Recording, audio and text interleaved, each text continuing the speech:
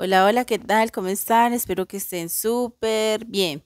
Bienvenidos a un nuevo video, a una nueva historia.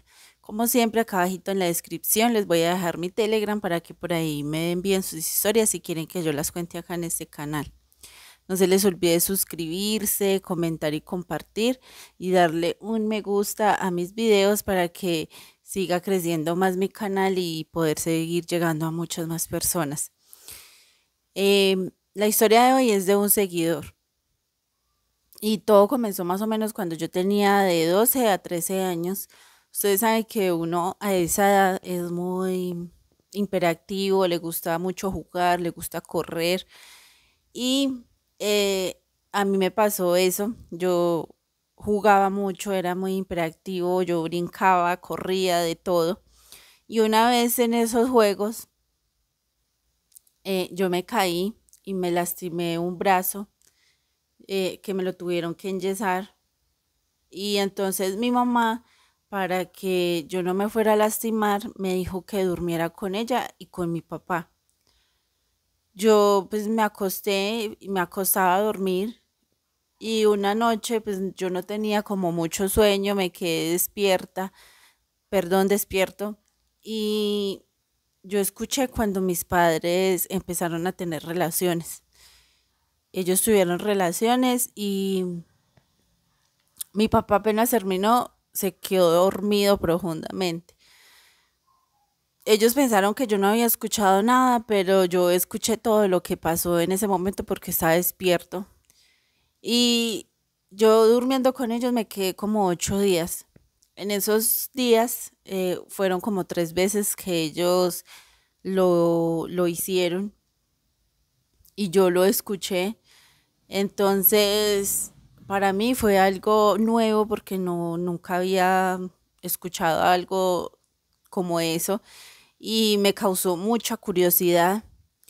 A los fueron pasando pues los días y ya me recuperé del brazo y me fui a dormir a mi cama, pasaron los días, los meses y a mí me quedó esa curiosidad en mi mente. Entonces yo lo que hice fue espiarlos cuando ellos estaban dormidos y yo los espiaba cada que yo escuchaba algo diferente, yo me iba corriendo y me paraba en la puerta de la habitación de ellos y los espiaba. Ahí veía yo cuando ellos tenían su intimidad.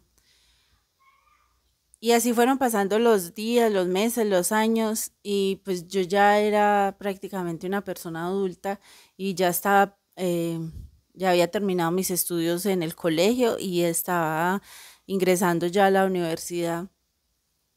Y a mí no se me había podido quitar esa manía de espiarlos a ellos. Yo seguía con lo mismo espiándolos hasta que una vez me descubre mi mamá.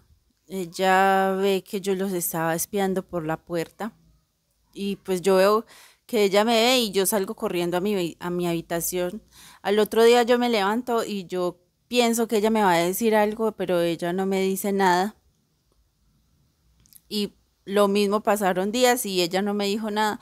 Yo esperé unos días para no espiarlos porque me daba temor de que me regañaran o me dijera algo, pero nunca me llegó a decir nada.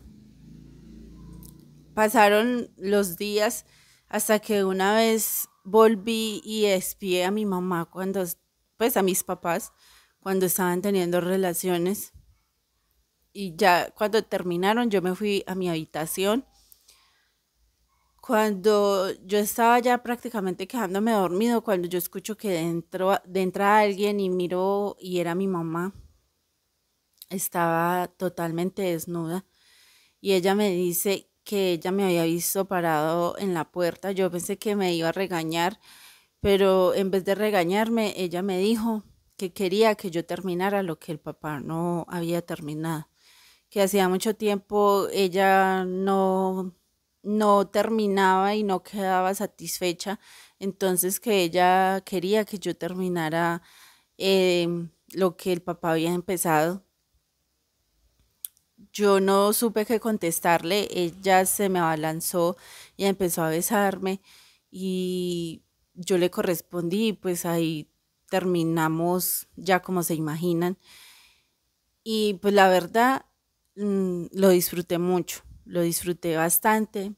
Ya de eso han pasado algunos años y lo seguimos haciendo ahí en casa cuando mi papá está dormido, porque como les dije, él termina y se queda profundamente dormido, no se vuelve a despertar y ahí es donde mi mamá y yo aprovechamos.